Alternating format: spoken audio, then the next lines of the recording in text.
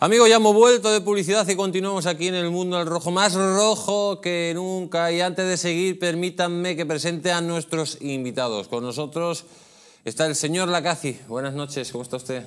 Muy buenas noches, bien hallado, don Jesús. Un placer tenerle aquí. Como siempre. ¿Cómo ve mí. usted lo que estamos viendo? Como un, un gobierno tomado por los amigos de la ETA, viendo a la ETA que gobierna, que está consiguiendo más incluso matando personas. Hay que recordar que un familiar suyo fue asesinado por la banda terrorista ETA. Paz descanse. Guillermo Quintana Lacaze. Pues, ¿cómo lo vamos a ver, Jesús? Eh, se ve tan negro como se vio desde lo que es el inicio con el plan de intenciones que bien eh, pronto dejó claro este gobierno, que es traicionando pues, no solo a los españoles, sino a las instituciones y en este caso a las fuerzas y cuerpos de seguridad. Fíjese, la Guardia Civil, un cuerpo que, pues, ¿qué vamos a decir? Que ha hecho todo lo posible o imposible, no solo para la seguridad de nuestro Estado, sino bueno, pues para proteger todos los intereses de los españoles y en un eh, territorio tan hostil como era y es eh, Navarra, por esos fanáticos que siempre les hicieron la vida imposible allí, en los años de plomo y posteriormente. Bueno, pues este cuerpo que, bueno, eh, es un honor tenerlo en España y les ha vendido nuevamente echándole por la puerta de atrás como si fueran poco más que unos eh, rastreros, ¿no? Fíjese la Guardia Civil si mucho le debemos y el gobierno a- al cuerpo, ¿no? ¿Qué le voy a decir? Y España cuerpo. Señor José Antonio Veras, buenas noches, ¿cómo está usted? Buenas noches. Muy bien, pero vamos, no, no tan bien como usted que le veo espléndido. Espléndido. Le veo además con un pañuelo de, de diestro de, de matador, de matador de toros. Tú sí. también te dado- usted se da cuenta. Sí, ¿no? sí, hombre. Pues sí, pues tengo, eh, amigos, esto es un pañuelo único de una diseñadora hispano-ecuatoriana, eh, Alessandra de V. Es un pañuelo, en este caso, del gran capitán.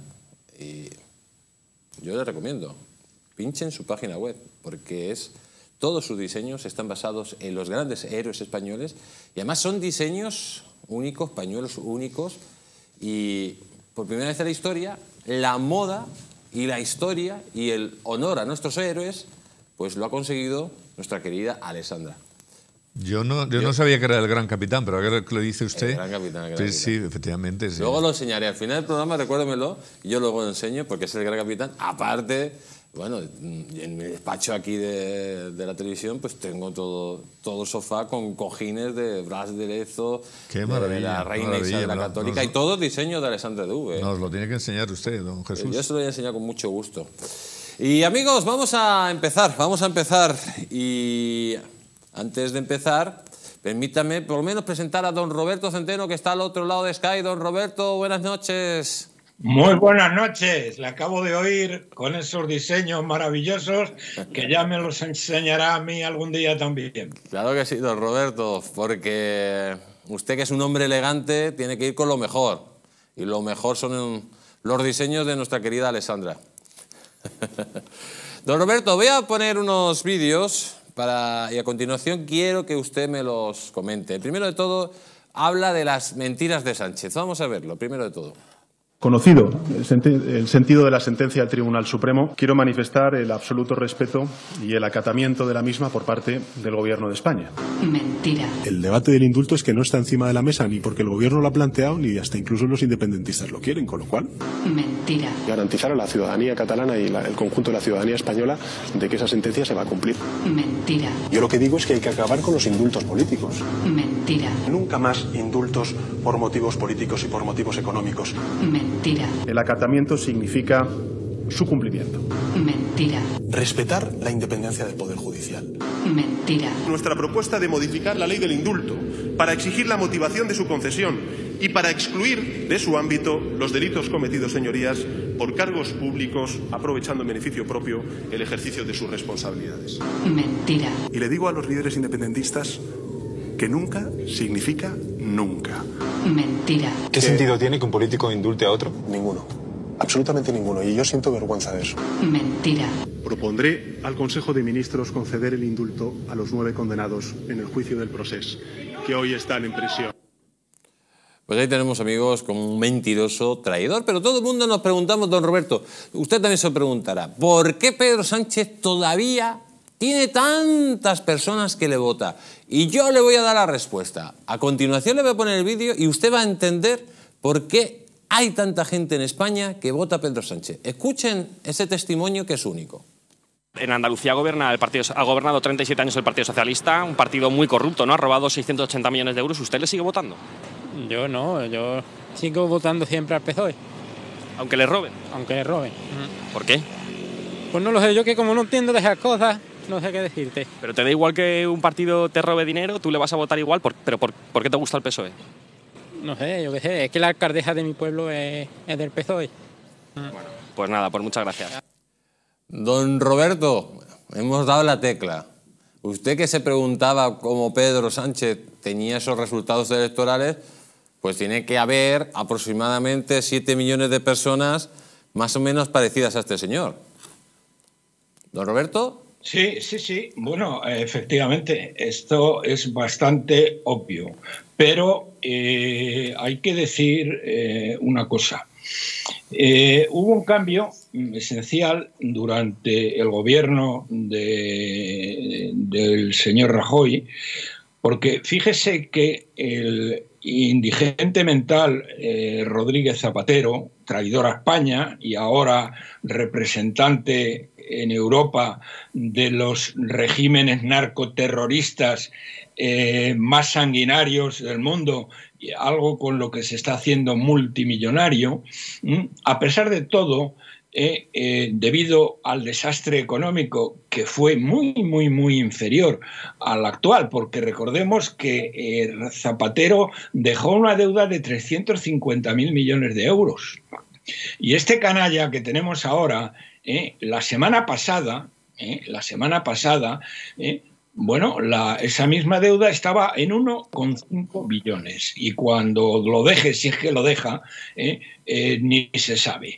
Pero, ¿qué fue lo que hizo el señor Rajoy y su indigna, indigna mm, vicepresidenta económica? Bueno, le dio todo el poder mediático a la izquierda. Es decir, en un momento determinado en que eh, eh, concretamente me voy a referir a, los dos, a dos de, de los más importantes. Uno, la sexta, estaba quebrada. Otro, el país, que estaba quebrado. Bien, los podían haber dejado quebrar. Y el señor Rajoy y la señora vicepresidenta decidieron, ¿eh? Eh, hablando con los bancos y dándoles las ayudas correspondientes, a dejarlos vivos con la idea, con la idea de, mm, impulsar a Podemos eh, para que Podemos le quitara votos. Bueno, entonces ahora estamos en una situación económica y, bueno, quiero decir, eh, Mariano mm, ganó por una mayoría absoluta, arrasó en el Estado, en las autonomías y en los ayuntamientos. Bien, ahora la situación económica es infinitamente peor. España es el país que más se está empobreciendo de todo el mundo occidental y este año que viene ya ni les cuento. ¿eh? Bien, y sin embargo, sin embargo, no hay una mm, clara victoria eh, por parte del Partido Popular como la hubo en la época de Rajoy.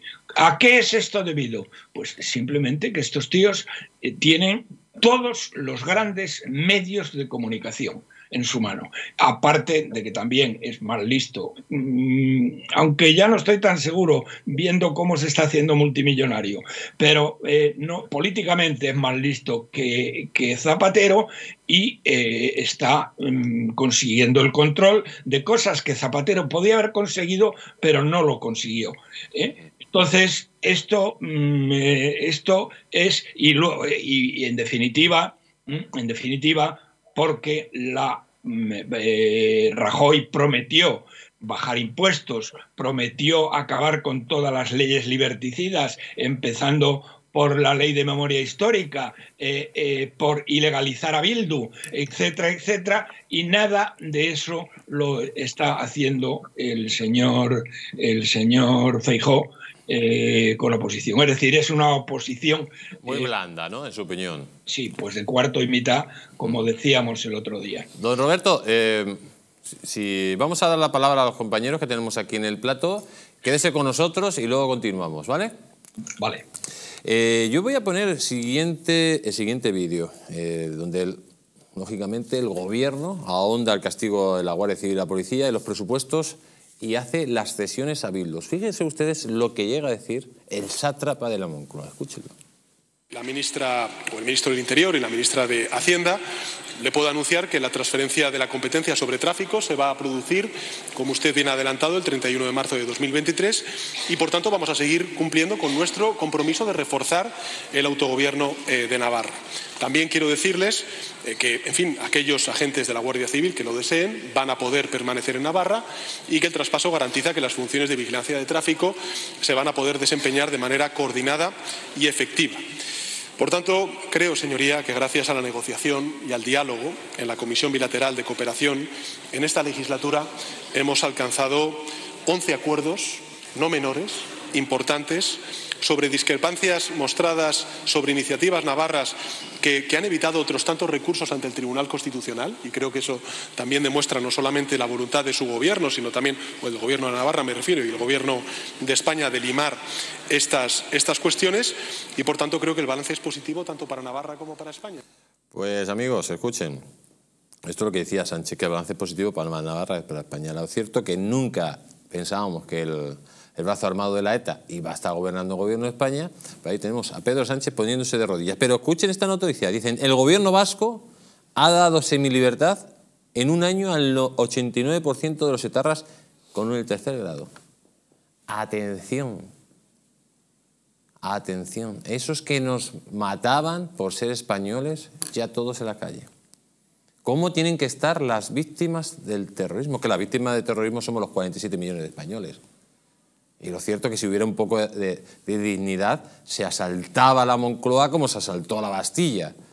Porque lo que no se puede hacer es matar y pisotear de nuevo a los muertos en el cementerio, como está haciendo Pedro Sánchez. Señor Vera. No, bueno, usted recuerda que cuando se tenían que aprobar los anteriores presupuestos, el señor Otegui, hablando para su gente, dijo, vamos a ver, nosotros tenemos 200 presos en la calle y los tenemos que sacar como sea. Y si para eso hay que apoyar los presupuestos del PSOE, los apoyamos. Vale, Otegui puede decir eso. Lo peor, eh, efectivamente, lo que no tiene ningún tipo de justificación ni es comprensible es que Pedro Sánchez, después de haber dicho, y todos nos acordamos porque fue tan contundente y tan reiterativo, que no pactaremos nunca con Bildu, si quiere lo dijo, si quiere lo digo cinco veces, o si quiere lo digo 20 veces. ¿Qué parte entiende- no entiende usted que no voy a pactar con Bildu? digo? Efectivamente. Bueno, pues al final pactó el año pasado, ha vuelto a pactar este año. Primero, efectivamente, y usted lo ha dicho y ha sacado es- esas cifras, los presos, eh, había 200, ahora son 170, creo que son los que están todavía en prisión, pero algunos o muchos de ellos disfrutando ya de ter- eh, diferentes medidas grado. como el tercer grado eh, penitenciario. ¿no?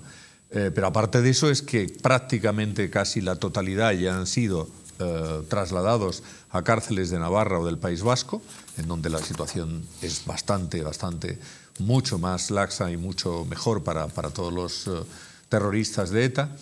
Y aparte de eso, pues ha habido otro tipo de excesiones, porque nos tenemos que acordar que incluso con la ley, con la ley de memoria democrática, la mal llamada ley de memoria democrática, pues eh, una de las cosas que ahí se ha aprobado es que había que mm, revisar para condenar los crímenes del GAL, no los de ETA, ¿eh? los del GAL sí.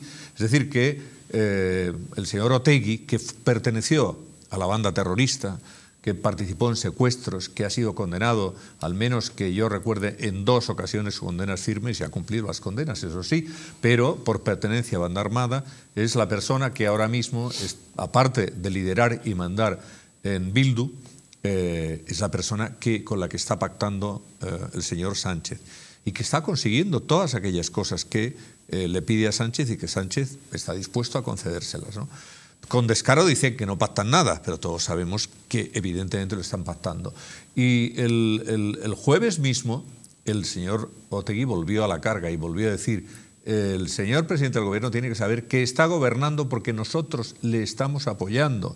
No está gobernando porque tenga mayoría, que no la tiene, sino porque le estamos apoyando. Y tiene que saber que nuestro planteamiento es el de la independencia tanto el de Esquerra Republicana como el de Otegui, la independencia de Cataluña y del País Vasco. Y lo dijo con claridad, y por tanto ellos van a seguir avanzando paso a paso. Y lo que sí vemos es que el señor Sánchez, pues bueno, poquito a poco está dispuesto a concederles todo lo que piden. Y lo próximo seguramente será, porque ya lo ha dicho eh, también de manera muy contundente el presidente de la Generalitat de Cataluña, lo próximo será el referéndum para la autodeterminación. Bueno, pues, ¿qué, ¿qué, más añadir? Pues que además de lo indignante, frustrante, triste que es para toda la sociedad, como usted decía, Jesús, eh, el ver cómo los asesinos eh, salen impunemente a la calle por la puerta de atrás y en particular para los que hemos tenido pues eh, víctimas y familia de víctimas en carne propia. Pero más allá de eso, que ya es mucho, que ya hay que descontar mucho sufrimiento y muchas lágrimas, es que fíjese que por encima de eso se traiciona también una cosa que se llama el Estado de Derecho, que no es una cuestión menor en una democracia. Porque si hubiera un resquicio legal para poderse hacer legalmente eh, lo que se pretende, pues todavía tendría un pase. Pero es que fíjese que la propia ley penitenciaria no está diseñada, ni mucho menos, como tortizaramente pues se la saltan, ¿no? Y como decimos la ley penitenciaria, otro tipo de leyes, como el propio Código Penal, donde por la puerta de atrás suprimirán ahora el delito de sedición sin una, sin una, ley orgánica y sin mirar hacia adelante, sino mirando hacia atrás y haciendo derecho de autor, es decir, un traje a medida para los sediciosos. Bueno, pues esto es lo que más indigna y lo que va en contra también no solo de las víctimas, no solo de toda la sociedad española, como decía, sino de la seguridad jurídica y del ordenamiento jurídico español, del Estado de Derecho. Eh, nosotros, como juristas, vamos a asistir a internos, a centros penitenciarios. ¿Sabe lo que me dijo el otro día un interno, eh, cliente de nuestro despacho? Que por qué a él no le concedían los mismos beneficios que le estaban eh, concediendo a los etarras. Eh, sinceramente, como abogado, no supe qué responderle, porque le dije que no había seguridad jurídica, que no éramos todos iguales ante la ley. Le, doy la respuesta. Hágase usted de, la ETA, de una banda terrorista, asesine a alguien y le dará los mismos derechos mientras eh, los mismos derechos que a los etarras, porque el resto de los, de los presos no los tienen. Don Roberto Centeno, es alarmante, es una vergüenza, es un escándalo que el brazo político de ETA esté gobernando que esté manipulando este gobierno miserable del señor Sánchez y que estén sacando la Guardia Civil de Navarra, que estén sacando a los presos a la calle eh, en la cara, en la cara de todos los españoles y que aquí no haya una respuesta contundente de nadie. Bien, vamos a ver. Eh, el que eh, estos criminales etarras hacen lo que están haciendo en el País Vasco y en Navarra, pues es lo normal. ¿Eh? Eh, eso no tiene nada de particular. Hacen lo que les dejan hacer. Lo que verdaderamente es terrorífico y es absolutamente anómalo es los que permiten este, mm, esta situación. Mire usted, don José Ángel y queridos amigos, los presupuestos del año 23, aparte de ser absolutamente falsos y que van a llevar a la ruina a eh, lo que todavía queda de clase media y clase trabajadora, que dice usted, ¿y dónde está la gente? Pues en la casa, en su casa viendo el Mundial. ¿Dónde están? Igual que el rey. Dice, ¿y dónde está el rey? Pues viendo el Mundial. Bien, bueno, estos presupuestos del año 23 son los más criminales de la historia presupuestaria española y del mundo civilizado. Jamás Jamás, no ya en un Estado de Derecho, tampoco en una dictadura como puede ser la chavista o la castrista, se habían cometido tamaños actos criminales y delitos de alta traición para aprobar unos presupuestos. Algo que además era totalmente innecesario porque Sánchez y su banda de forajidos habrían podido fácilmente prorrogar los presupuestos eh, sin hacer concesión alguna. Pero señoras y señores, ¿eh?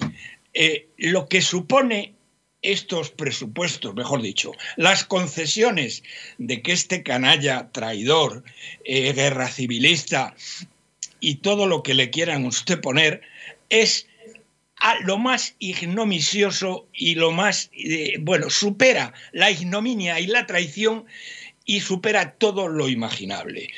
Porque verdaderamente pactar con unos asesinos los de ETA y pastar con una organización criminal, como la llamó el Tribunal Supremo, aunque luego se bajaron los pantalones estos señores y dijeron que eh, no era una organización criminal, sino que, bueno, que habían cometido un delito de sedición, que no sé cómo no se les cae la cara de vergüenza cuando se miran al espejo por las mañanas. Pero es que hay mucha más gente metida en esto. La gente, por definición, aquí no va a hacer nada porque somos un rebaño de ovejas. Si llevándonos a la ruina, como nos han llevado, que somos el país del mundo desarrollado donde más se han empobrecido las familias, donde más han subido los impuestos, donde más nos hemos endeudado. Nos hemos endeudado a las próximas generaciones de españoles durante 60 o 70 años y no hemos salido a la calle. Pero bueno, ahí tienen ustedes el rey. ¿Dónde está el rey en estas cosas? Porque esto es muy gordo. Usted lo acaba de decir. Es que los, los de los, los etarras y los criminales golpistas que no tienen media bofetada, porque no tienen media bofetada. ¿eh? Eh, bueno, eh, el rey tendría que decir algo. No ha dicho ni pío. ¿Qué hace el rey? Pues estar viendo un partido de fútbol en, en Qatar. Bueno, por lo menos da buena suerte, don Roberto. Bueno, eso a mí no... Permítame, si se queda un ratito más, porque quiero tratar otro tema con usted. Bueno, pero hay, déjenme... Pero te, termine en un minuto, porque vamos a otro tema. Un minuto. ¿Qué hace el ejército? Porque hay mucha gente que dice, ¿cómo el ejército no interviene? Pues miren ustedes, porque son, la mayoría de ellos, no digo todos, pero los que mandan y los que tienen el poder, son unos perjuros, porque juraron defender hasta la última gota de su sangre la unidad nacional. Y ni lo han hecho, ni lo van a hacer. ¿eh? aparte de que carecen de honor y de vergüenza. Ya no hay en el ejército español ningún general Franco, ningún general Mola y ningún general Queipo de Llano. Ya no los hay. O sea que no se puede contar con ellos. Y tenemos una oposición pues que también es absolutamente eh, vergonzosa y absolutamente de mierda. Mire, eh, con esto termino esta parte.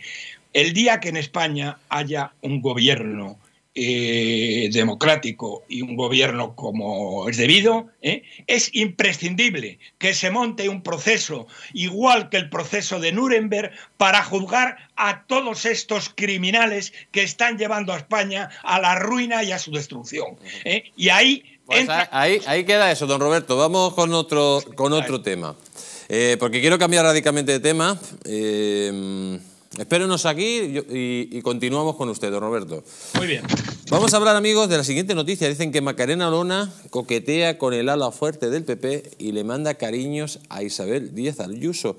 Dicen que Olona ahora enfila su artillería para tratar de ganar la simpatía del ala más radical del Partido Popular y publica el acercamiento con la presidenta de la Comunidad de Madrid, que es una de las figuras de mayor peso dentro de los populares, porque su tono directo y sin rodeo contra la izquierda y contra las figuras del gobierno de Pedro Sánchez es por ello que la exdiputada de Vox coquetea con un posible acercamiento con la mandataria regional.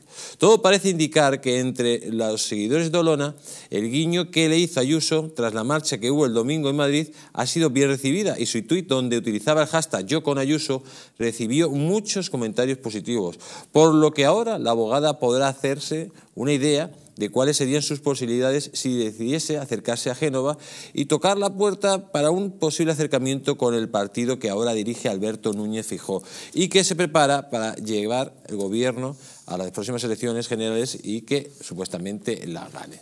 Pero vamos con otra noticia de, de, Olona. Atención, esta noticia que dice lo siguiente, las razones de Olona para ir a las generales una encuesta y más búsquedas que Abascal.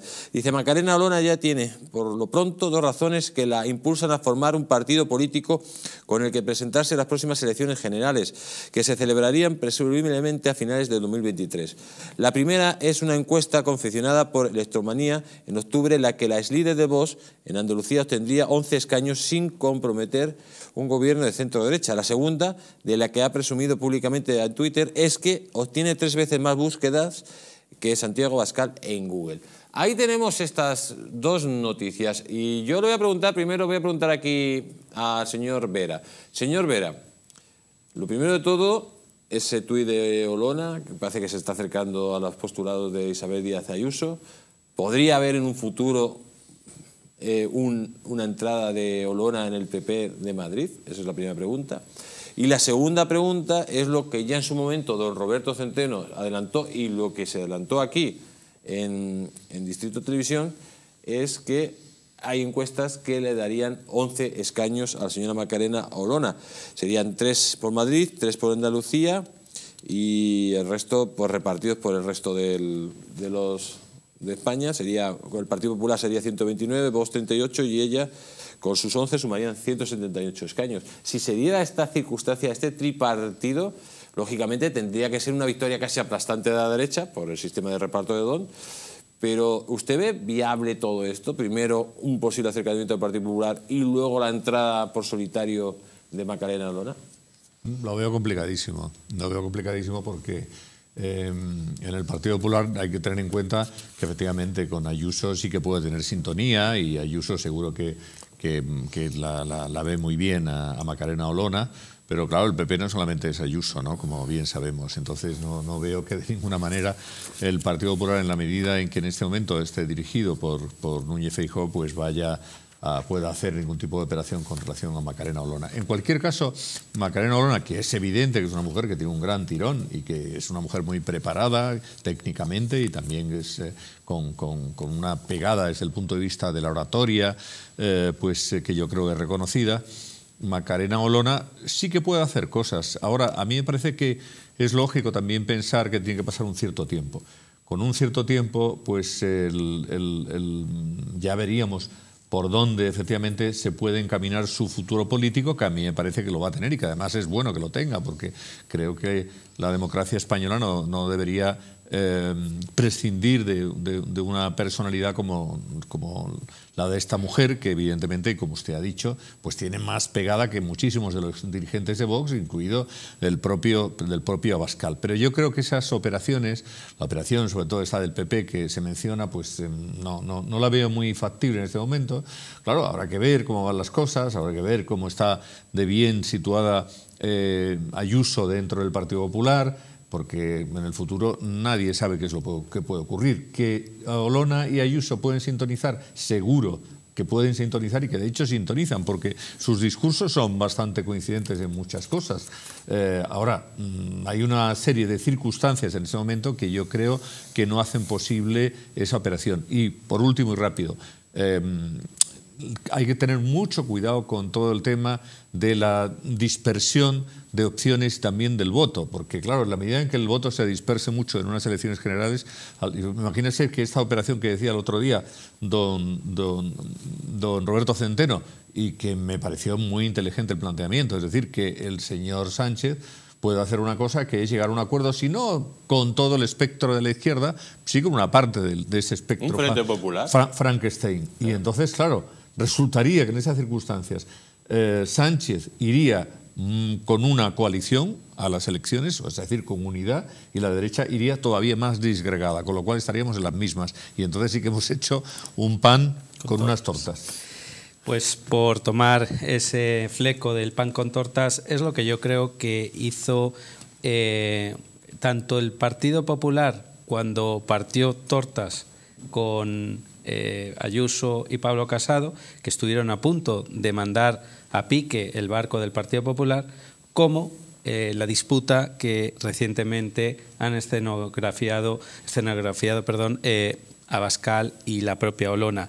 Eh, no creo que eso sea bueno para la derecha española y no lo creo porque, como bien dice el señor Vera, eh, disgrega el voto y al final fracciona la oposición que es más necesaria que nunca en estos tiempos que esté unida. Por tanto, yo no sé de quién fue, no voy a decir la culpa, porque si al final es una voz discordante lo que se quiere tener, yo creo que caben voces discordantes y deberían de caber siempre en un partido político porque eso sería que tiene democracia interna ese partido político. Pero por las razones que sea, rompieron, ¿no? Y, y ahora, bueno, Olona ha ido diciendo que no va a formar un partido político, pero yo creo que todo el mundo tenemos claro que a la larga, si no en las municipales que están aquí a la vuelta de la esquina, en las próximas generales es probable que ella sí eh, forme una, un partido político y lo que yo no tengo tan claro es que pueda eso beneficiar al bloque de derechas. Y por último, en cuanto a acercarse a Ayuso, bueno, ella, ya lo hemos dicho, ya lo ha dicho el señor Vera también, es una mujer preparada, inteligente, avispada, añado yo, y lógicamente pues se arrima a un caballo ganador que hoy por hoy en Madrid, y no solo en Madrid, en España, también tiene mucho tirón Isabel Díaz Ayuso. Don Roberto, este es su tema preferido, la señora Olona. Eh, cuéntenos usted sus últimas indagaciones. ¿Qué va a hacer la señora Olona? ¿Se ha puesto ya en contacto con usted? Eh, ¿Se ha puesto, ¿Sabe algo? Le voy a ¿Se dar han una- ido ustedes a, a cenar? Eh, Cuéntenos algo, cuéntenos algo porque la gente está la muy visto. interesada. no la conozco y no he hablado con ella. ¿eh?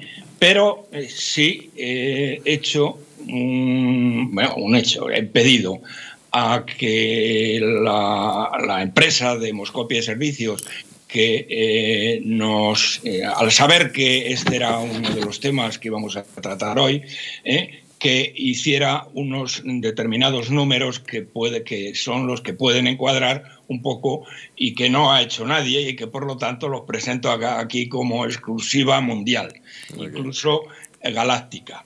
¿eh? Bien. Eh, lo primero que le he preguntado, bueno, me parece efectivamente obvio que entre Ayuso y Olona hay una eh, sintonía que el, el peri- el periódico este que nos ha leído usted denomine a Ayuso el ala más radical del Partido Popular, bueno, puede que sí, pero verdaderamente eh, los que puedan pensar eso es porque son unos cobardes eh, y unos traidores a sus votantes. Pero bien, vamos a ver. Primera pregunta, eh, que aquí hay que cuantificar las cosas. ¿Eh? No podemos limitarnos solo, bueno, si no hay más remedio, es lo que hay que hacer, pero si puedes tener números es muchísimo mejor. Lo primero, yo no tengo ni idea de lo que va a hacer eh, Ayuso. ¿eh? Lo que le está diciendo, obviamente. Olona dirá. No, no, no, perdón, primero Ayuso. Ayuso. Ayuso, sí. Es decir, va a admitir.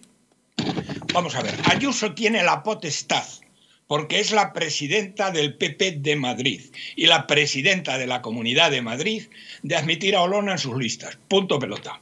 ¿Mm? Eso no cabe duda. Los, las chusmas de Génova se pondrían como panteras y irían a Feijó a pedirle su cabeza y lo que haga, mm, lo que haga Ayuso no tengo ni idea. Pero le voy a dar unos datos a la señora Ayuso que supongo que ya eh, los puede tener, pero como nosotros teníamos ya unas cifras previas, me ha sido mucho más sencillo, o mejor dicho, le ha sido mucho más sencillo a Demoscopia y Servicios hacer este cálculo. La pregunta es, eh, si la señora Ayuso admite a Olona en las listas de la Comunidad de Madrid, ¿qué puede ganar? Bueno, pues señoras y señores, lo que ganaría con las cifras de, la- de las últimas encuestas que se hicieron hace muy poco, hace como unos 10 días, ¿eh? ganaría tres escaños. ¿eh?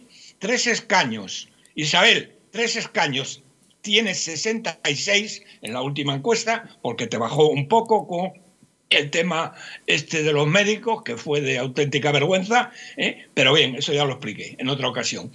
Tres escaños, ¿eso qué pasaría? Que tendrías la mayoría absoluta, tan sencillo como eso. ¿Mm? Así que tú verás lo que haces. ¿eh? Eso, estudiátelo tú, si quieres. ¿eh? Eh, yo te mando las cifras nuestras, si quieres, pero te daría la mayoría absoluta. Tres escaños. Y bajaría dos la señora Monasterio, que se lo tiene bien merecido. ¿eh? Eh, eh, bajaría de 13 a 11. Eso es lo que le pasaría en números a la Comunidad de Madrid. ¿Qué le pasaría al Partido Popular? Al Partido Popular. A ver, Feijó, a ver si te enteras. ¿eh? Que este es un cálculo que tienes que hacer, no por los gritos que te dé la chusma de Génova. No, sino lo que tienes que hacer es matemáticas. Bueno, entre 6 y 7 escaños te daría. Tienes ahora mismo, me parece que la última eran 130 o 131, o sea que te añadiría 6 o 7 escaños. Por lo tanto, una Olona unida al PP ¿m? está sumando en la Comunidad de Madrid, le daría la mayoría absoluta a Ayuso y le daría un buen tirón para arriba a el Partido Popular si la eh, quisieran acoger. Que no sé si lo van a... Un segundito, don Roberto, que no sé si el señor José Antonio Novera quiere hacer una pregunta o matizar algo. Sí, bueno, no, no, no, no. eh, Me parece que está muy bien visto. Efectivamente, vamos a ver, eh, Olona entra en las filas del. por- por aunque fuera simplemente como independiente dentro de las listas del PP en la Comunidad de Madrid. Y, y claro que esto tendría un tirón y evidentemente mm, yo creo que le arrebataría escaños y votos a, a Vox de una forma muy directa y muy clara. Y evidentemente Ayuso con esa operación podía estar en disposición de, si no tener la mayoría absoluta, estar ahí al, al- filo. ¿no? Eh, por tanto, sí, sí, me, me parece que eso, claro que puede ser y que sería positivo. En el caso de la Comunidad de Madrid, probablemente también en el otro caso, porque al final lo que estás haciendo es arrebatándole votos a alguien que te está, que es contri- contrincante tuyo dentro del espectro del centro derecha. Ahora, eh, en fin, no lo sé, no lo sé, no sé si don Roberto, eh, bueno, ha, ha- ha hecho alguna indagación más a efectos. No. de- no. Ya. Eh, no, esto, mira, no lo ha hecho yo, la ha hecho Demoscopia y Servicios. Yo se la he pedido, Porque yo esos cálculos no los sé hacer. ¿Y sabes por qué no los sé hacer? Porque no son tan sencillos. Tienes que, sobre todo en el caso nacional, tienes que dominar la ley DONT, y yo no la domino para nada. ¿eh? Y por lo tanto, eso solamente lo puede hacer un profesional. Pero bueno, mm, eso está ahí, estas cifras de momento van a misa. Eh, Demoscopia y Servicios, les recuerdo que son los más serios haciendo encuestas, y la señora eh, Isabel Díaz Ayuso, a la que se le haré llegar esto, estas cifras por otros medios ¿eh? y eh, que hagan lo que quieran o lo que puedan, porque probablemente, probablemente Ayuso sí querría y va a encontrarse absolutamente a la chusma de traidores de Génova eh, eh, enfrente. Y nada más una última cosa para terminar. Muy rápido, Roberto. pues, Y tan que- rápido, miren, eh, referente al tema del Frente Popular, con las últimas encuestas, y luego lo, lo volveré a repetir cuando salgan más encuestas que saldrán a, primero, a primeros del mes que viene, van a salir varias. usted rápido, Roberto. Mire, sacarían 41,5% el Frente Popular, uniendo los votos de PSOE, eh, Unidas Podemos y RC, 31% el PP y 16% Vox. Entonces, la verdad es que arrasan. Con 41,5% y la ley DONT, ¿eh? este canalla, traidor, hijo de Satanás, ¿eh? y que tendríamos que procesar en un proceso de tipo Nuremberg, ganaría de nuevo las elecciones. Bueno, don Roberto Centeno, muchísimas gracias por haber estado aquí en el Mundo al Rojo. Reciba usted un fuerte abrazo. Muchas gracias a vosotros. Y ya le, ya, ya- ya le llevaré los pañuelos. Muy bien. Gracias. Cuídese mucho. Vamos a cambiar de tema radicalmente, amigos, porque nos vamos directamente a la crisis energética. Atención a esta noticia. Dice, una estrategia planificada por círculos empresariales y políticos para desmantelar las economías industriales en nombre de una distópica agenda verde. Dice, en enero de 2020... En víspera de los devastadores cierres de pequeños comercios, el director general del mayor fondo de inversiones del mundo, Larry Finn, de BlackRock, publicó una carta dirigida a sus colegas de Wall Street y a los directores generales de las empresas sobre el futuro de los flujos de inversión. En el documento, modestamente titulado Una remodelación fundamental de las finanzas, Finn que gestiona el mayor fondo de inversión del mundo, con unos 7 billones, atención, 7 billones de dólares gestionados en este momento, anunció un cambio radical para la inversión empresarial. El dinero se volvería verde. En su carta de 2020, muy seguida por fin, declaró, en un futuro próximo y antes de la mayoría breve, habrá una resignación significativa del capital. El riesgo climático es un riesgo de inversión. Además, declaró, todos los gobiernos, empresas y accionistas deben enfrentarse al cambio climático. En otra carta dirigida a los clientes inversores de BlackRock, Flynn presentó la nueva agenda de inversión de capital. Declaró que BlackRock saldrá de ciertas inversiones con altas emisiones de carbono, como el carbón, la mayor fuente de electricidad para Estados Unidos y muchos otros países. Añadió que BlackRock examinaría la nueva inversión en petróleo, gas y carbón para determinar su adhesión a la sostenibilidad de la Agenda 2030 de la ONU. Finn dejó claro que el mayor fondo del mundo comenzará a desinvertir en petróleo, gas y carbón. Con el tiempo, escribió Flynn, las empresas y los gobiernos que no respondan a las partes interesadas y aborden los riesgos de la sostenibilidad se encontrarán con un creciente escepticismo de los mercados y, a su vez, con un mayor coste de capital. Añadió que el cambio climático se ha convertido en un factor definitorio de las perspectivas a largo plazo de las empresas. Estamos a borde de una remodelación fundamental de las finanzas. Ahí lo tenemos, amigos. ¿Por qué? Todos los anuncios hablan del cambio climático, de ser sostenible, de la reducción de coste de energía. Bueno, sí que te está hablando del Banco Santander, que no tiene ni pies ni cabeza, y te está hablando de, que hay que hacer una gestión sostenible. No sé qué tendrá que ver el Banco Santander con la gestión de los montes y la sostenibilidad y la dictadura verde, etcétera. Pero es que es todo. Eh, Iberdrola, lo otro, Resol, hasta las marcas de ropa. Si usted ve en Winter, hablan constantemente del cambio climático, de que hay que eh, vender ropa de segunda mano, porque ya hemos quemado los bosques, pues hay que utilizar las cosas de segunda mano. La verdad que es que es casi un insulto a la inteligencia la imposición de esta dictadura verde y todo basado en, una falso, en un falso apocalipsis climático. Sí hay cambio climático, pero no una emergencia climática como quieren hacernos vernos pues los gobiernos de, este, globalistas. Señor Vera. Sí, bueno, es que esto ya se viene diciendo desde hace muchísimo tiempo, ¿no? que, en fin, como el objetivo, el objetivo último es el, el, nuevo orden mundial, y ahí están en esa operación el Foro Económico Mundial y todas estas grandes eh, corporaciones que, están, que abanderan pues, personajes como Soros, como, como Bill Gates, que por cierto, fíjese usted que estaban todos en la en la, la, cumbre del G20, ¿no? Y dices, bueno, la cumbre del G20 es una cumbre de estados. ¿Qué pintaba allí, por ejemplo, el presidente del Foro Económico Mundial, el señor eh, Klaus Bass, ¿no? Eh, ¿qué, hacía allí? Pues allí estaba, dando un discurso y diciendo justamente esto, ¿no? Que, en fin, que es que el mundo tiene que cambiar, que va a ser un mundo multipolar. Nos podía explicar ya cuál es la concepción que él tiene en la cabeza de ese mundo multipolar, exactamente cómo va a ser. Ya sabemos que el mundo no es unipolar, ¿no? Esto ya lo hemos descubierto y que efectivamente cada vez es más multipolar.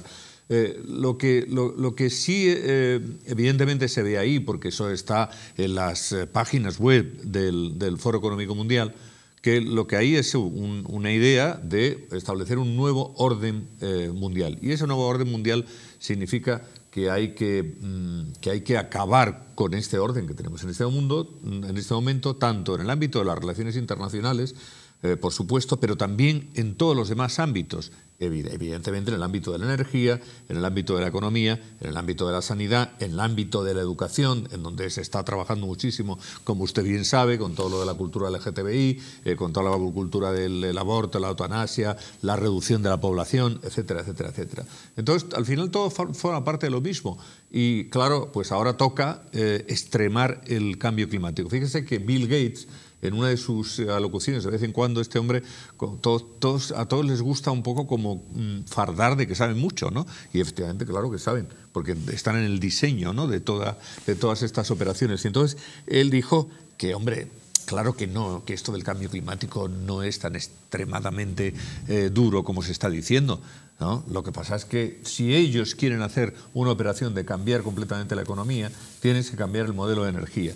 Y entonces tienes que extremar las circunstancias. Por tanto, ya no hay cambio climático, sino alarmismo climático. Y nadie habla, por cierto, de algunas cosas que el propio Bill Gates defiende, como es, por ejemplo, pues eh, está el cambio climático, pero está también la, la, manipulación del clima. Y en eso están implicadas las grandes corporaciones. El señor Bill Gates ha dicho en más de una ocasión que hay que hacer lo que sea para efectivamente, pues no sé, por ejemplo, evitar que llueva más en un sitio que en otro, etcétera, etcétera. En eso están los chinos, en eso están los rusos, están los americanos y todo el mundo está haciendo operaciones de modificación del clima que al final efectivamente redundan de una forma muy negativa en el cambio climático. Claro que ha habido que hay cambio climático porque siempre lo ha habido. La exageración a la que nos están llevando está perfectamente diseñada. Hay una cuestión en la que yo creo que todo el mundo está de acuerdo, que es que eh, durante todo este tiempo hemos contaminado mucho. Claro que hemos contaminado mucho. Tomar medidas para frenar la contaminación es positivo y es bueno. Todos queremos que eso se produzca. Ahora, llevar esto al extremo de decir que es que el mundo se va a acabar dentro de cinco años si no hacemos lo que ellos dicen, pues es una exageración que se cae por su peso. Porque fíjese que ya en el año 90 decían que algunas islas de estas del Pacífico se iban a hundir. Pues no se ha hundido todavía ninguna. ¿Eh? porque decían que iba a subir tanto las mareas y el nivel del mar que se iban a hundir. Pues no se ha hundido todavía ninguna, esa es la realidad. Entonces, bueno, me parece que eh, el diseño es retorcer esto para que efectivamente parezca que hay un alarmismo climático tal que sea justificado todo lo que se está haciendo ahora mismo en Europa y en América, sobre todo, que es que tenemos que pasar frío, no podemos utilizar el gas natural, no podemos eh, utilizar el carbón, no podemos utilizar nada de esto, porque lo que hay que hacer es vivir de los paneles solares, que por cierto yo estoy a favor, porque, Sí, pero yo tengo. Lo importante de esto es que decimos, ¿cómo es posible esta gran dictadura eh, verde, climática? Pues porque como, digamos, los cuatro líderes mundiales, lo- los grandes fondos de inversión, que son al final los que controlan a todos los gobiernos títeres que tenemos, toman la decisión de la Agenda 2030 y cómo eso se cataliza por medio... O usted cambia su política respecto a la utilización de carbón o no tendrá inversión. O usted hace este tipo de publicidad o no tendrá inversión de BlackRock. O sea, es, digamos, un chantaje que viene desde es la mano negra que gobierna el mundo. Y, eh, y empieza a ser rayano a la dictadura, porque fíjese que hay gente que dice que aquellos que mantengan una posición eh, levemente discrepante con las teorías ahora actuales del cambio climático no deberían tener eh, voz para hablar en, en- en los medios de comunicación y en todas partes. Esto se dice así, de una forma contundente y clara. Bueno, el fondo de la cuestión es que vamos a un gobierno global, mundial. Ahora ya todo es global. El- el- lo que se quiere implantar es una moneda única, un gobierno global único con, como se ha dicho, unos títeres, ¿eh? pues estaría ahí Sánchez, Macron, el canadiense, el Biden de turno. Claro, por eso a ellos no les interesan personajes que sean incontrolables. No les interesa Donald Trump. Donald Trump no, porque este, este tiene ideas propias y este, claro, mm, no se tragaba absolutamente todo lo que le decían, pues estos señores están al frente de este gobierno mundial que se pretende implantar y que son señores, por cierto, a los que no ha elegido nadie. Nunca se ha presentado ningún tipo de elección. Y efectivamente tienen bajo su control los fondos económicos más importantes del mundo, que son los que, los que dominan en el mundo y muchos gobiernos pues eh, están en manos de esos fondos, porque efectivamente tienen una deuda brutal y el dinero lo tienen que sacar de algún lado. ¿Quién te lo da? Pues el BlackRock de turno, el Vanguard de turno y los fondos económicos que son los que sí pueden ejercer una presión a los gobiernos, no solamente a los gobiernos, sino también a las grandes corporaciones, bancos, empresas energéticas, etcétera, etcétera, para hacer lo que ahora hay que hacer, que es el nuevo orden mundial. Bueno, al final eh, el cambio climático se ha convertido en el negocio climático y hay, es cierto, no solo todos estos poderes fácticos o no fácticos que ustedes han apuntado, sino lobbies que ya eh, de tamaño menor en ciertos países se están sumando a este carro. Aquí en España tenemos unos cuantos, porque al final es un negocio, como digo, muy bien subvencionado y muy bien, eh, bueno, pues untado de, de dinero público muchas veces, porque esto me recuerda a, aquí en España cuando se eh, pretende legislar mediante decreto, que es tan habitual en este gobierno que lleva ya no sé cuántos reales decretos. Y en el real decreto, pues de una ley que pudo ser, acuérdense, ¿no? de, para parar el COVID o medidas ¿no? para afrontar el COVID, metió hasta leyes del CNI para que Pablo Iglesias entrara por la puerta atrás, etcétera. ¿Qué quiero decir con esto? Pues que con la excusa de este negocio climático se legisla en un popurrí de cuestiones que acaban siendo, como decía el, señor Vera también, que nada tienen que ver con el tema climático y sí un ideario político y cultural y social y educativo que conviene a esos poderes fácticos que están moviendo eh, los intereses económicos que no sociales, porque la sociedad les da igual, tan les da igual que son capaces de decir no a los temas contaminantes y luego irse en aviones eh, que contaminan muchísimo de un lado a otro, de cumbre en cumbre, ¿no? por poner solo un botón de muestra. Por tanto, esto es un ideario y esto es un negocio climático. Y, y efectivamente, la, los, a los ciudadanos nos llevan y nos traen donde ellos consideran Claro. oportuno. Y usted no tiene capacidad prácticamente de hacer nada, porque eh, digamos que, que la fuerza y la avalancha con que se presentan ese tipo de operaciones son tales que es que el que se oponga mínimamente, no digo que se oponga, no, diga algo mínimamente, pues no sé, crítico o eh, en en sentido de revisar un poco la teoría, es excomulgado, es lanzado fuera, digamos, de, la- la- lanzado a las tinieblas porque son dogmas que no se pueden criticar, son religiones que no se pueden criticar y que están todas unidas, por cierto. Lo que pasa que toca primero una cosa y después viene la otra. Y al final todo va a eclosionar hasta que efectivamente lo que va a eclosionar de verdad, como estamos viendo, es la economía. Porque No, está claro. Esto que dice Vera es muy importante porque no solo estamos diciendo que es, o yo lo denomino como negocio climático y este ideario que decimos, sino que efectivamente aquel que no comulga con este ideario, les comulgan, véase, le censuran. Tanto es así que espacios bueno, con voz eh, independiente como pueda ser este, y me consta que otros también han pasado por el filtro de YouTube o de otros eh, canales que en cuanto dicen eh, voz crítica, que oiga, yo no comulgo con esto, que puede ser tal, directamente censuran al medio. Esto es lo más grave que también en un Estado de Derecho, mediante el derecho fundamental a la libertad de expresión, se puede hacer. Dicen, dicen que es fake, ¿eh? que es la, que es la, Exacto. el- el- la nueva cuña, y se acabó. Ya usted está censurado. Pues amigos, han escuchado a nuestros invitados y antes de irnos a publicidad vamos a sacar dos temas. Lo primero de todo, cómo Donald Trump, amigos, públicamente ha dicho que hay que parar la guerra, sí o sí, la guerra de Ucrania. Que si la momia está loco, que si la momia está loco, que cómo todavía no ha parado una guerra que puede llevarnos a un apocalipsis nuclear. Escúchenlo a Donald Trump. We must demand the immediate negotiation of a Exijo la negociación inmediata de paz para terminar la guerra en Ucrania.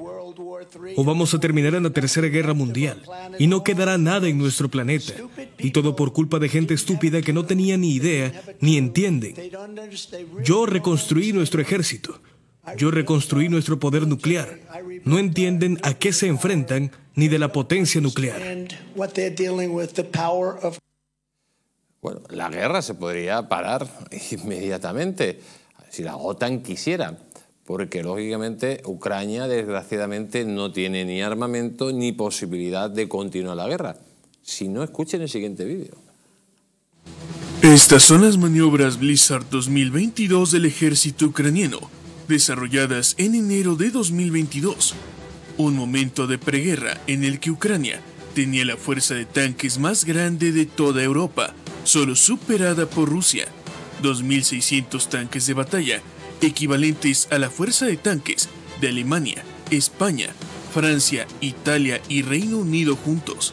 Sin embargo, tras casi nueve meses de combates, Ucrania los ha perdido todos y actualmente combate únicamente con tanques T-72 M1 polacos, T-55 eslovacos y otros tanques entregados por la OTAN, así como una amplia gama de blindados enviados por sus aliados europeos y estadounidenses. Sin embargo, Ucrania mantiene en total secreto sus terribles pérdidas. Pues ahí tenemos, amigos. ¿Se podría parar la guerra? Por supuesto. ¿Se podría salir mm, de esta guerra? Por supuesto. Eh, señor Vera, ¿cree que el señor Trump tiene razón? ¿Que, que Sí. estamos, estamos tensando tanto la cuerda que puede llegar a ese apocalipsis nuclear? Sí, sí, bueno, esperemos que no, pero efectivamente, claro que se, que se puede llegar. Eh, la operación del otro día de los misiles, esta en la que el señor Zelensky se empeñó en decir que era un misil ruso, cuando la OTAN ya ha dicho por activa y por pasiva, lo ha dicho el propio Biden y otros eh, representantes de, países de la OTAN, que no era un misil ruso, sino que era un, misil ucraniano. Bueno, eh, si alguna de estas, en alguna ocasión ocurre o vuelve a ocurrir algo de esto, pero la OTAN dice que efectivamente era un misil ruso, ya tenemos el conflicto creado. Tenemos el conflicto convencional en principio, pero del convencional al nuclear puede haber un paso. Créame usted que eso no sería tan complicado.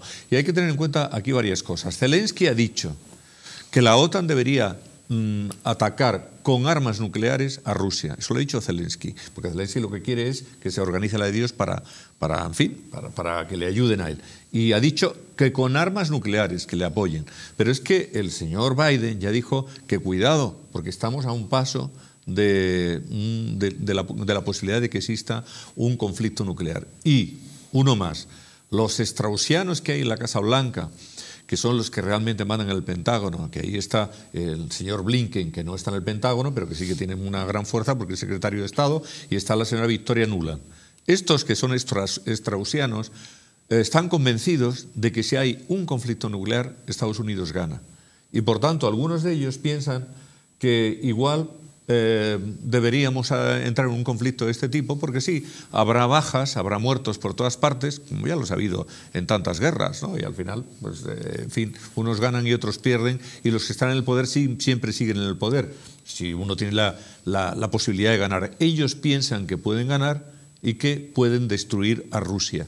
Y a mí esto me parece tremendamente peligroso. Trump dijo que esta guerra él con él nunca se hubiera producido y yo estoy convencido de que eso es así, porque fíjese que durante los cuatro años que estuvo Trump en el poder, y usted sabe que yo nunca he sido trumpista, no he sido partidario de Trump, pero durante el tiempo que estuvo Trump en el poder, primero no hubo ninguna guerra, segundo no hubo ningún conflicto con Rusia, ninguno. Porque el conflicto con Rusia se organiza, aparte de que, de que Putin es lo que es, y eso ya sabemos cómo es el personaje, pero se organiza en gran medida porque el señor Biden le da alas a Zelensky para que diga que quiere ingresar en la OTAN y para que dé una arremetida en la guerra del Donbass. Y eso es lo que mm, este, el señor Trump estaba eh, dispuesto a impedir y que de hecho se impidió durante los cuatro años que estuvo gobernando. Bueno, el tema de- del conflicto eh, que actualmente estamos viviendo en Rusia es mm, difícil de medir para no pasarse de frenada por un lado o por otro. Quiero decir con esto que no hay que olvidar y no hay que quitar el foco, aunque sea una obviedad decirlo, que al final el principal eh, y primer eh, culpable de este conflicto es Putin, que decide atacar a un país soberano como lo es Ucrania.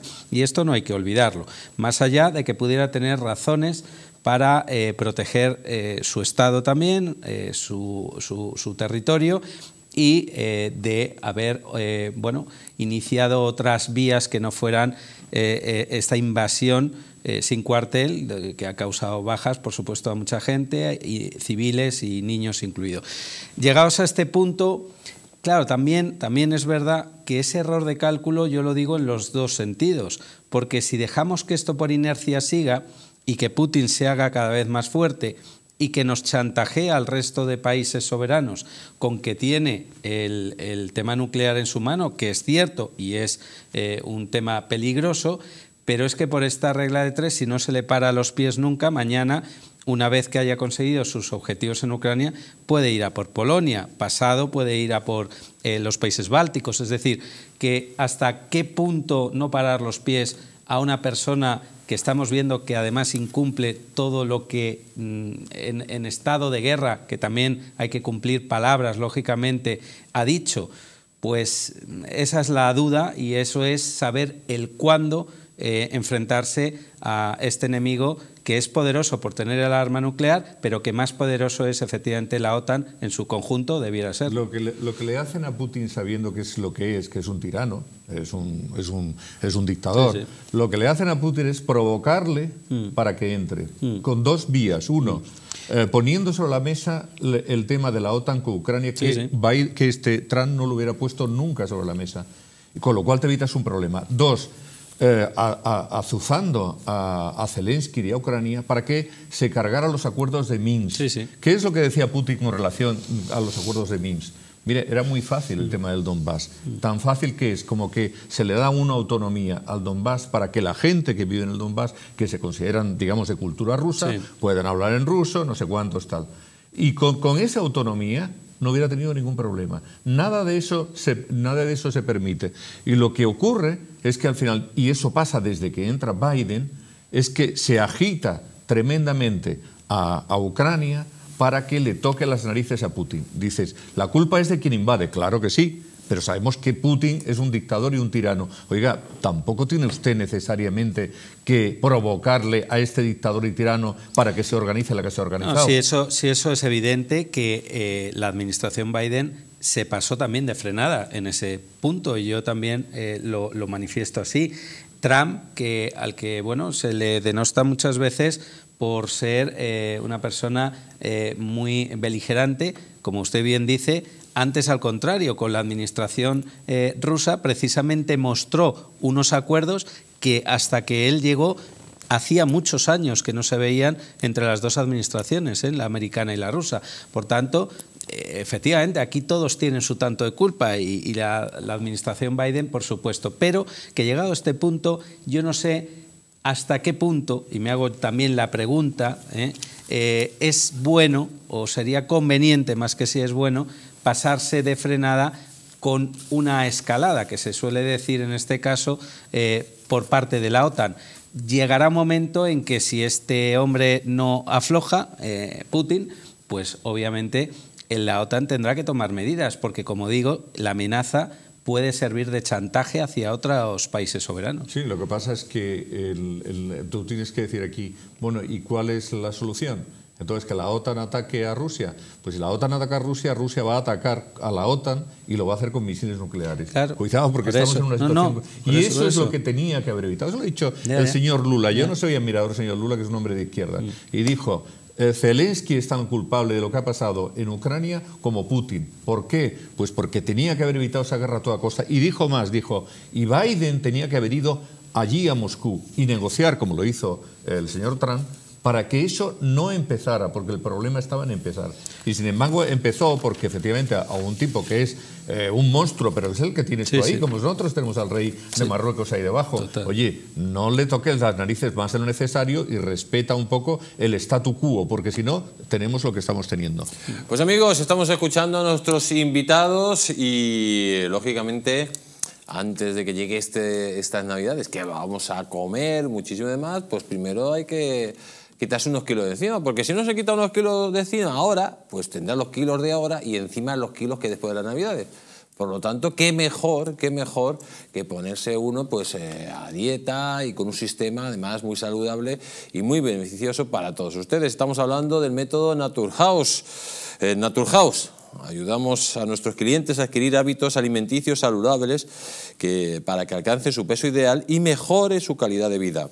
Todo ello acompañado de suplementos a base de productos naturales que ayuden a conseguir el objetivo de una manera sana y eficaz, bajo un asesoramiento dietético gratuito. Dispondrás de un programa de cita regular y gratuito con un nutricionista que hará un seguimiento de tu caso de forma permanente. Será tu guía durante todo el proceso para que consigas tu peso saludable y será también tu apoyo emocional. Tu nutricionista irá adaptando tu plan de alimentación personalizado a medida que vayas avanzando en el tratamiento para asegurar que se mantiene tu salud y que alcanza los resultados deseados. Pide cita en tu centro más cercano o solicítalo online en www.naturhaus.es. El método Naturhaus, amigo, la mejor forma para adelgazar. Se lo digo por experiencia. Y atención, nos vamos a publicidad. Vamos a hablar del escándalo Krypton que salpica a Joseph Biden, a Zelensky y al foro de Davos. ¿Sabían ustedes que Joseph Biden se financiaba por medio de las criptomonedas? Y por cierto, esto de las criptomonedas está metido de lleno Zelensky.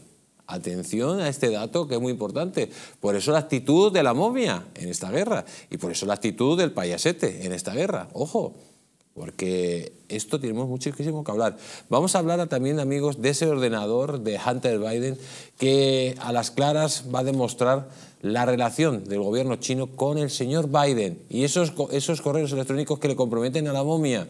Y cómo no, También vamos a hablar de lo que está pasando en Brasil. El partido de Bolsonaro presenta una denuncia ante el Tribunal Superior de Justicia el Tribunal Electoral para invalidar el voto del 61% de las urnas electrónicas. Al parecer, amigos, ahí está el pucherazo. Todo esto lo vamos a ver después de publicidad. No se vayan, porque si no, nadie, nadie se lo va a contar.